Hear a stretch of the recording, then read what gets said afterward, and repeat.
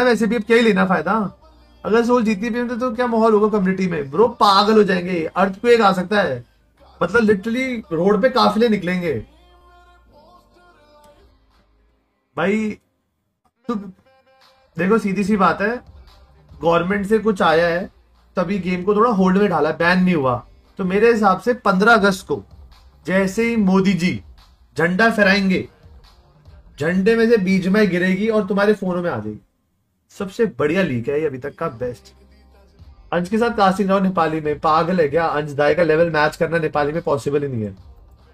अंश और मंदीप दोनों ही मुझे लगता है कि हाँ ज़्यादा नो फ्लैग बियरर्स